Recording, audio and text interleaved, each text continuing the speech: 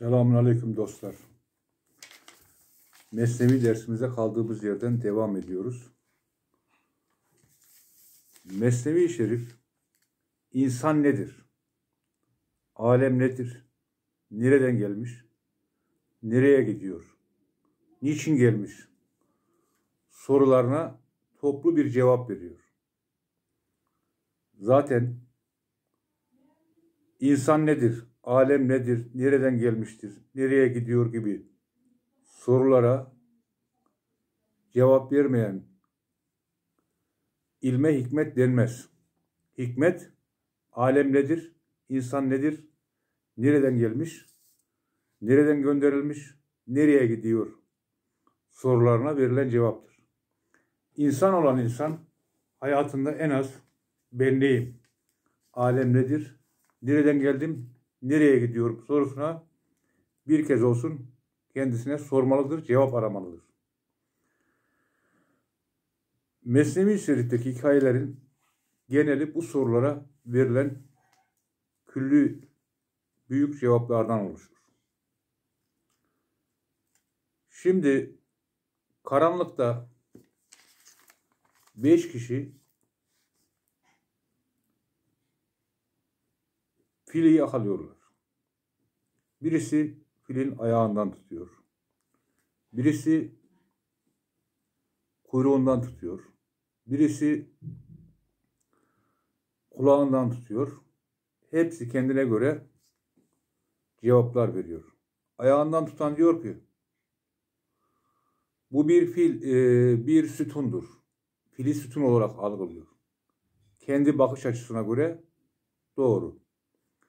Kuyruğundan tutan bu bir süpürgedir diyor. Kendi bakış açısına göre onun dediği de doğru. Kulağından tutan yapraktır diyor.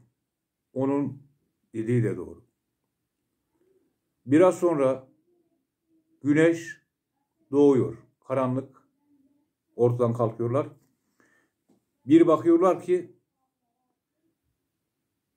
hiçbirisinin dediği doğru değil. Ne sütun ne süpürge ne yaprak. Bir fil.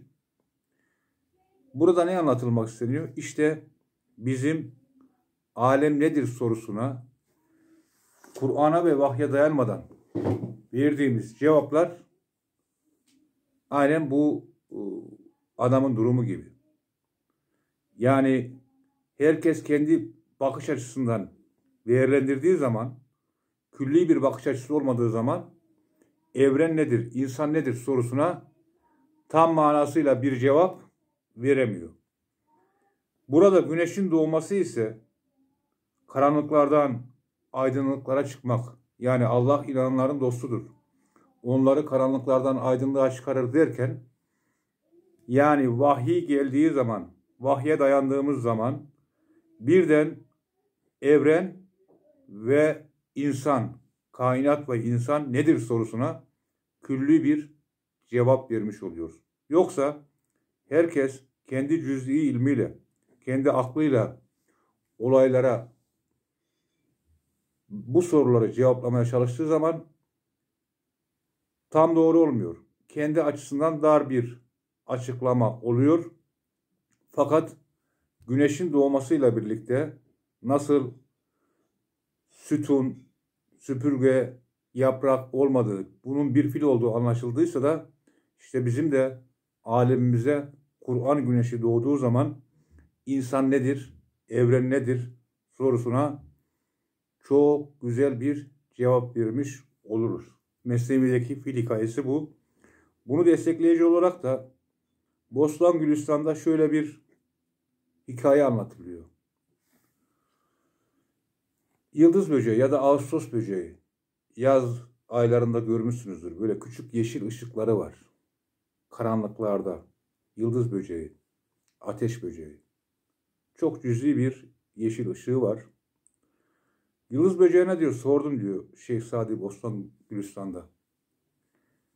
Niçin gündüzleri görünmüyorsun? Hep geceleri diyor ortaya çıkıyorsun. Yıldız böceği geceleri görünür, gündüz olmaz. Yıldız böceği şöyle bir cevap veriyor. Ben gece gündüz kırlardayım. Fakat Güneş çıkınca görünmez oluyorum. Evet. Güneş çıkınca görünmez oluyorum.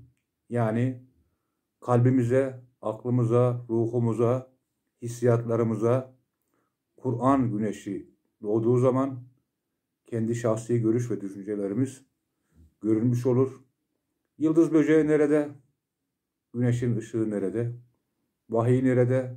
Kur'an nerede? Hadis nerede? Sünnet nerede? Filozofların düşünceleri nerede?